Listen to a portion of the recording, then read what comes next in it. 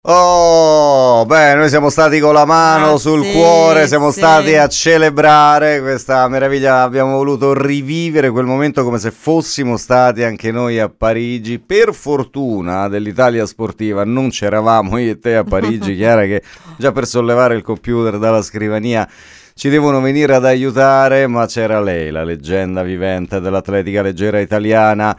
Ladies and gentlemen, Sua Maestà Assunta Legnante. Buonasera. Ciao Assunta, che bello. Chiamatemi, chiamatemi Lisa, Monna Lisa. Oh, ma che bellezza. Vedi alla fine la scaramanzia. Ti ricordi c'era... Uh, cioè, avevamo fatto sopra tutto un discorso tra l'artistico sì. e lo scaramantico l'ultima volta prima che partissi su questa mascherina. Adesso te lo posso dire. Io non ero per niente convinto che portasse bene. E invece, vedi? No, proprio eh, invece, invece. Ma secondo te una napoletana può portare male? eh, no, ma per carità, per carità però non, mi sembrava andare a sfidare proprio con un simbolo certo. così sfiderò ancora di più. Oh, ma che tipaccia che sei. Tu non puoi immaginare cosa ho in mente io. Ma, no. guarda, ma, ma, meno male che ci mancano ancora anni. No, no, ma lo posso anche dire, lo posso sì. anche dire. Il 23 saremo tutti al Quirinale ah, da beh. Mattarella. Eh, certo. Io regalerò la mascherina della, della Gioconda a Mattarella dicendogli di riportarcela. Dici io ci sono andata e ho fatto quello che dovevo fare, Presidente, il resto lo faccia lei. Che meraviglia, che meraviglia. Assunta, è è, è, bellissimo, è bellissimo ave- riaverti a questi microfoni Grazie. perché tu sei una co-conduttrice, visto che ti disturbiamo di continuo la tua eh, disponibilità. Non ho il contratto firmato, eh, però dai. Eh, ma manco noi. noi. Vabbè, non mandiamo oltre. Stiamo parlando ah, di non lo vede, eh? può anche andare. No, non foglia bianca.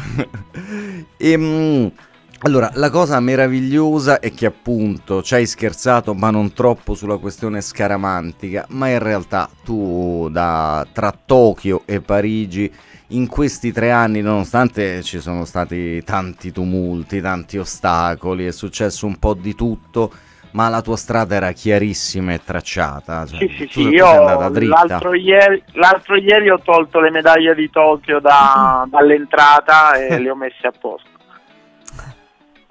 Quindi... Perché erano un promemoria, almeno sì. una doveva diventare d'oro. Eh. E me la ricordo questa cosa. quella del peso. Ecco, a proposito di togliersi un peso, adesso lo possiamo dire ancora più compiutamente. Quello è chiaro che sembra, sembra un'esagerazione dire che è un, un, podio paralimpico, dire una cosa che ti è rimasta qua. Però era vero, quello, quella medaglia ti era rimasta qua. Sì, sì, sì, sì, assolutamente quella del peso soprattutto, quindi anche perché non, non, non, mi piace essere seconda, soprattutto nel peso. posso, posso, invecchiare, posso fare anche due o tre metri in meno rispetto a qualche anno fa, però de- devo, devo, arrivare prima. Nel peso, il peso è il mio, è il mio.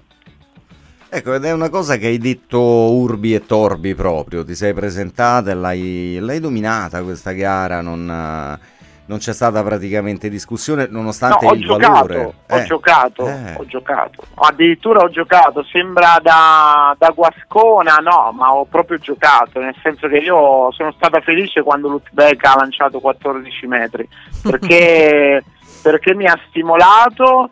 Eh, non abbastanza per fare di più, ma se avessi fatto di più io avrei potuto fare molto di più perché in allenamento ho superato i 15 metri, l'anno scorso ho fatto 15,60, quindi... Ecco, questa è, è, un'impressione che addirittura dalla TV si era avuta, che per quanto la uh, Burkanova, che peraltro era lei, quella che ti aveva tolto lo scettro sì. tre anni fa, lanciasse, cioè se foste andate ricordiamo avanti fino al giorno dopo... lei, sì, eh, sì, sì, lei ipovedente, lo ricordiamo, ecco se avesse continuato a lanciare bene e meglio sareste andata avanti un paio sì, di giorni perché tu gli avresti sempre fatto un centimetro sì, in più. sì sì sì. Que- ma anche, anche, più di un centimetro perché poi a un certo punto ero pronta ad ammazzarla la gara ma ho visto che non ce n'era bisogno quindi eh, mi sono tenuta sul tranquillo E sei stata una delle atlete fortunate no? di questa Paralimpiadi, arrivata in forma e insomma consapevole di quello che potevi fare. Ci sono stati tanti episodi invece che magari hanno eh, insomma un pochino sono andati a Ehm, così eh, a ledere no? una prestazione, prestazioni che potevano essere anche di alto livello ma insomma ci vuole anche tanta fortuna ah, Questa... parliamo di caso però esatto. di caso, di karma quindi eh, l'importante è poi arrivare al 100% come ho sempre detto e ripeto in questi giorni io ho fatto un lavoro anche mentale con il mio mental coach che mi segue da un anno e non si deve arrivare a queste gare al 99% nemmeno al 110 ma al 100% e io cioè, ero arrivata pronta a combattere proprio perché volevo quella medaglia non ci sono riuscita nel disco nemmeno stavolta ma lì eh, me lo posso perdonare perché ripeto non è la mia gara è mm. difficilissimo girare mm-hmm. per me perché ragazzi senza vedere non avere eh. un punto di riferimento è un casino però dai, almeno una la dovevo portare a casa. E ci sei, e ci sei riuscita. Eh, come sono state queste Paralimpiadi rispetto alle precedenti, anche per la presenza di questo pubblico che insomma eh, sembra essere stato l'elemento più importante, no? Io le, paragono, le, le, ho paragonate a quelle di Londra mm. perché 80.000, 90.000 spettatori tutto il giorno, è impressionante non ho sofferto molto questa cosa perché poi con l'età avanzi sai gestire anche i rumori, eh, il casino, il tifo, eh, quindi sei concentrata sulla tua gara, sul tuo gesto, eh, quindi non mi ha dato tanto fastidio, però posso, posso immaginare che a tanti abbia dato un, un bel brivido. Un bel brivido. Questa cosa che hai detto eh, mi, fa, insomma, far, mi, mi, fa, formulare la, la domanda, l'altra domanda, perché tu giustamente hai detto con l'avanzare dell'età ci si abitua a certe no, dinamiche, riesco, però eh, ecco quali sono i pregi no, di andare avanti con l'età e naturalmente i difetti che riguardano più l'aspetto immagino eh, atletico. Eh, I pregi sono proprio quelli che ho appena elencato, quella che comunque l'esperienza ti porta a non soffrire, a non avere più quel tipo di ansia negativa nelle competizioni importanti. I difetti, l'età avanza, i metri si abbassano, i dolori aumentano. Eh, inevitabile, dici. Poi insomma... Le cartilagini spariscono. Nonostante ciò, alle prossime Paralimpiadi ci sarai. Eh, con la testa sì, adesso vediamo se il fisico mi ci accompagnerà. Però tu stai lavorando per. Sì, sì, sì, sì io sì. penso di cominciare una preparazione, vabbè, anno dopo anno vedremo come mm. va, anche perché manca tantissimo, stiamo parlando eh, di 4 sì. anni, avrò 50 eh, anni, quindi... Eh, se a 50 anni riuscirei ad andare, andare a segno anche lì, veramente entrerei ah, definitivamente nella storia. La statua, la statua no. di Panna a Napoli. no, vabbè, eh, ci sono atleti paralimpici che gareggiano anche a 53, io sì, ricordo sì. anche Mazzone, eh, ricordiamo la Porcellato sì. o lo stesso Zanardi, Zanardi, Zanardi, non sarei l'unica. Il problema è che io non dimentichiamo che faccio sport da più di 30 anni già adesso eh, certo. e, e davvero le mie ginocchia, spalle, schiena ogni giorno mi chiedono oh ma che fai a fare? Basta. Eh, però la tua risposta però è lasciatemi fare, lasciatemi, lasciatemi fare. So cosa sto facendo. So cosa sto facendo.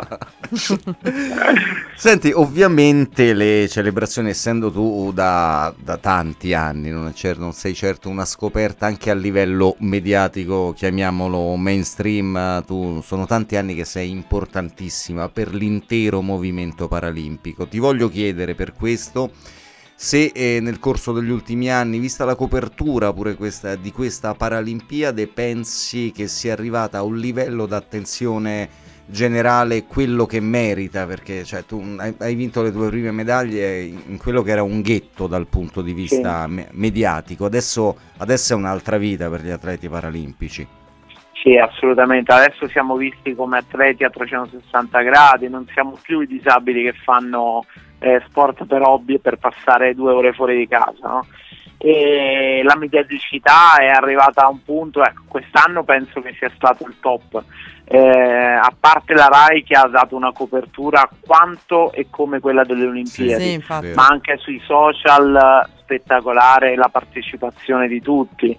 Eh, ci sono stati atleti della, della, nazionale italiana che hanno avuto un, cioè, un boom sui social ma semplicemente anche solo per, per l'autoironia che magari mm. abbiamo usato, no? E quindi ben ben venga tutto questo. Ecco, in generale il movimento italiano, se guardiamo al semplice, e ci metto tante virgolette intorno, uh, palmarès, è cresciuto in maniera pazzesca, perché sono due, due sì, Olimpiadi in cui viene fatto il record. In alcuni sport comunque c'è un buon ricambio. Eh sì. Ecco, eh, qua, an- qua, andavamo Nel alle dolenti note e, e, e, l'hai toccata già tu il, il tema, perché se eh, squadre come quella del, del, nuoto, che sono fenomenali da anni, sì. ma continuano a sfornare talenti sempre più giovani, probabilmente nell'atletica leggera questo sta avvenendo no, eh, con, uh, in maniera estremamente più rallentata. Sì, è più difficile, anche più competitivo l'atletica è difficile emergere. Eh, io, io non, non, metto in dubbio che nel nuoto siano fortissimi, grandissimi, anche perché ti ci devi trovare in una manifestazione del genere e vincere.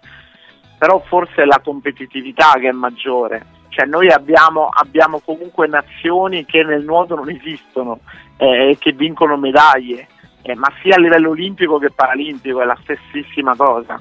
E questo fa, fa molto e comunque sì, noi abbiamo un ricambio generazionale molto rallentato. Io l'altro giorno facevo, ho fatto una battuta, io vorrei sapere come fanno i cinesi, che struttura di reclutamento hanno, eh, perché ogni, ogni, anno, ogni due anni, ogni tre anni loro ne tirano fuori 3, 4, 5, 10, ma anche semplicemente nella mia gara del disco, a parte la Zang che vince da anni, eh, quella che è arrivata terza, che poi ha vinto i mondiali a Kobe a maggio, eh, che poi è arrivata, te, non mi ricordo, seconda al mondiale a Parigi. Eh, cioè, eh, escono fuori come i funghi. Beh, diciamo che un materiale umano di partenza così vasto insieme a quello che è chiaramente un, sì, un ma programma... ci deve essere una struttura di reclutamento eh certo. assurda, eh. cosa che in Italia purtroppo non c'è. Beh, è, abbastanza chiaro che la Repubblica cioè, Popolare cioè, ha puntato sullo sport. Noi non abbiamo non vedenti eh. che corrono, che lanciano, che, che saltano, non, non, ci sono. Cioè Eppure non penso che in Italia non ci siano giovani non è vedenti. Questa è la domanda che ti volevo fare, mi hai anticipato, nel senso credi che sia una questione culturale, una questione di struttura? Culturale prima, prima di tutto, eh, però si sta sdoganando anche questo. Io ti faccio un esempio, mm. io mai come in questi ultimi anni eh, vedo, scusate se uso il termine vedo, non vedenti sui social che fanno video, che fanno eh, gli influencer addirittura. Sì, sì, sì. E, e questa cosa vuol dire che comunque si sta sdoganando un pochettino. L'importante è far capire magari ecco, a giovani non vedenti, perché purtroppo ci sono anche bimbi che nascono non vedenti, che comunque lo sport può essere un'opportunità. Ecco, io con tanti dirigenti, ma anche atleti e esperti, mi trovo spesso ad affrontare il discorso del ricambio e ad arrivare a una conclusione che suona pure antipatica alle orecchie di chi ci ascolta perché ci sono delle ragioni per carità, ma in questa impostazione culturale che andrebbe proprio ricostruita alla radice eh, dovrebbe far tanto il dialogo con le famiglie e con i genitori. Bravo, ma infatti è quello che dico io. Io quando vado nelle scuole a parlare della mia storia o a far capire magari che la disabilità non è un, un modo per non vivere, cioè non è un, un non essere una persona viva, eh, io non vorrei parlare con, con i ragazzi.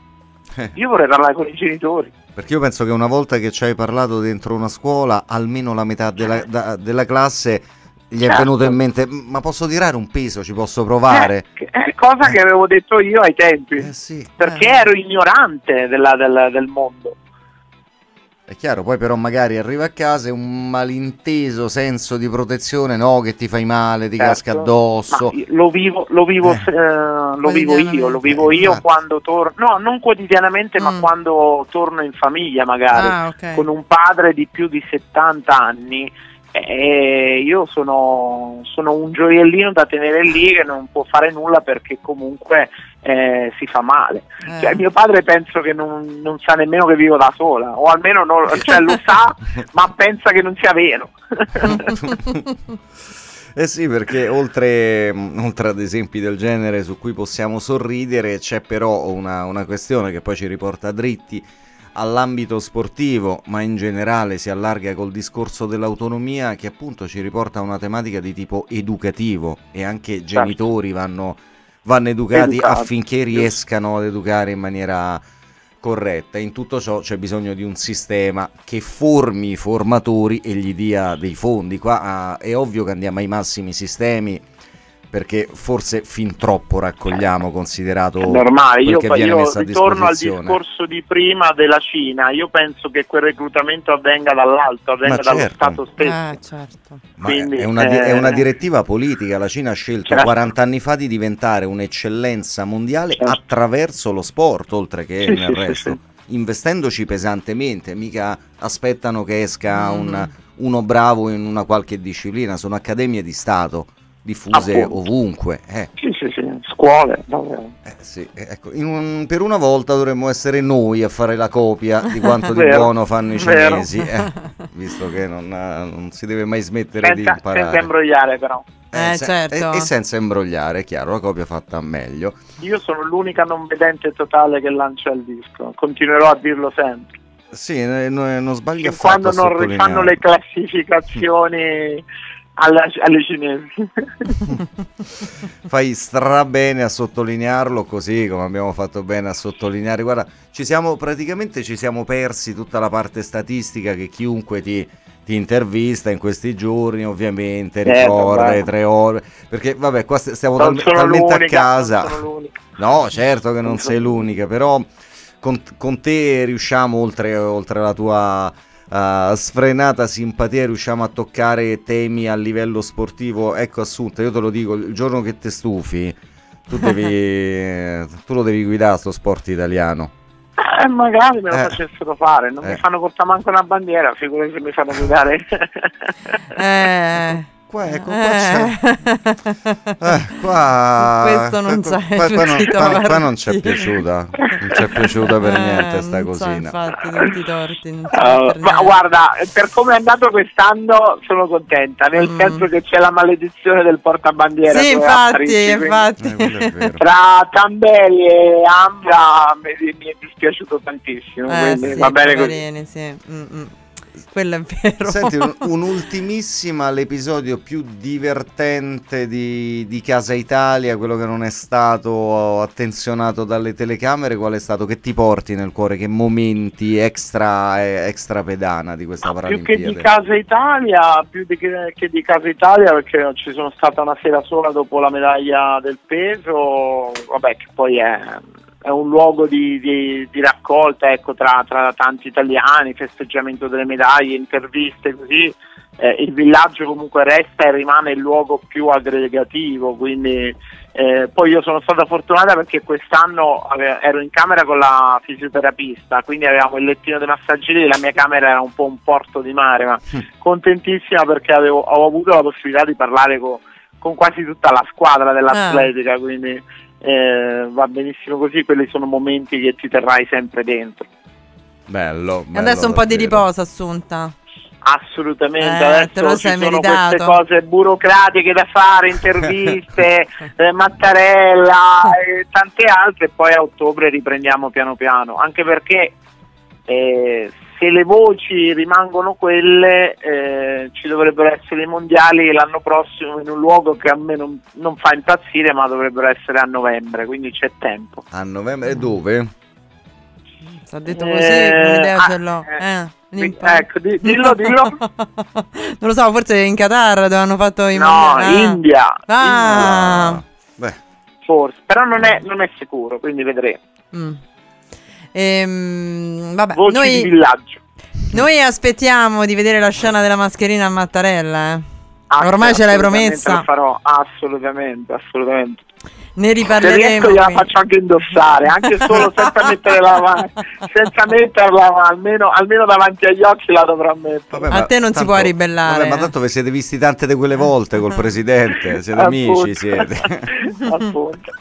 Assunta, grazie, grazie, grazie. di cuore intanto grazie per l'orgoglio, l'orgoglio proprio che ci fai palpitare nel cuore quando ti sosteniamo da, da leggenda vivente dell'atletica italiana grazie. e quando abbiamo la fortuna di farci queste chiacchierate che sono chiacchierate proprio tra amici qui a questi microfoni. Grazie, Grazie. ancora. Buona giornata, Grazie, buon lavoro. Assunta. A Ciao. prestissimo. Bocca al lupo per tutto. Ah, e va bene, assunta, eh, vabbè, assunta, assunta. Che... lasciateci questa, questa libertà, insomma, di esprimere le nostre sì. preferenze ogni Vabbè. tanto, però insomma, Vabbè.